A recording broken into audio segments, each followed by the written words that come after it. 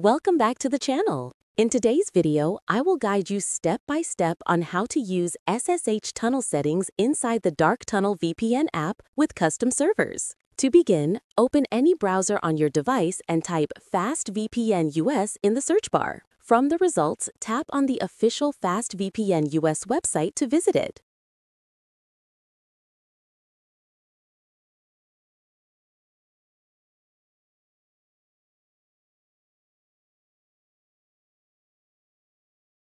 Once you land on the homepage, you will notice a login button at the top. Tap on it, select Continue with Google, and sign in using your Google account. After logging in successfully, you will be able to create your own servers. Next, take a look at the menu options located at the top of the website. Tap on the Services option to continue. Among the available services, select SSH Tunnel to move to the next page. Here, you will see a list of different server locations around the world. You can scroll through the list or use the search bar to quickly find the locations you need. Once you find the server location of your choice, tap on it. A new page will open showing available servers within that region. Tap on the Choose Server button to select one. You will now be asked to enter a username and password for the server. Complete the reCAPTCHA verification and then tap on the Create button. The server will be successfully created within a few seconds. After that, copy all the important configuration details including the username, password, IP address, and ports. These details will be used in the upcoming steps, so make sure to save them properly. Now that we have our custom SSH server ready, let's move on to using it in the Dark Tunnel app. If you don't have the app installed, go back to your home screen and open the Play Store. Type Dark Tunnel VPN in the search bar, press Enter,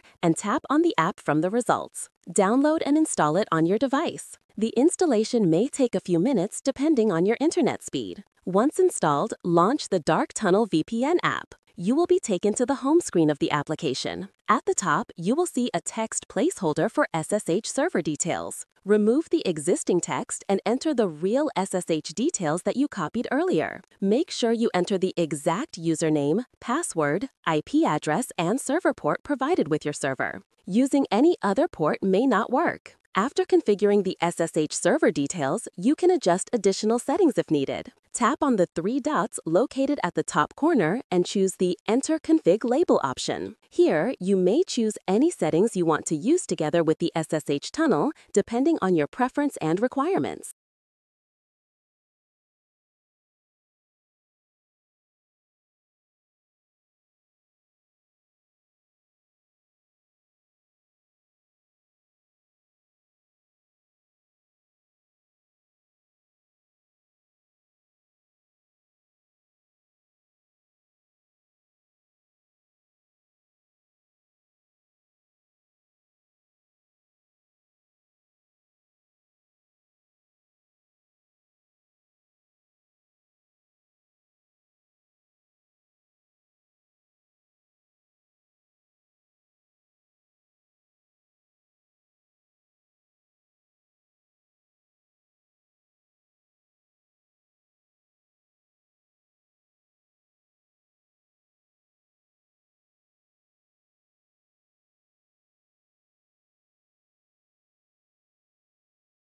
Once everything is set up properly, tap on the Connect button to start your VPN connection. The app will establish a secure SSH tunnel with your chosen server, enhancing your privacy and making your online experience more secure.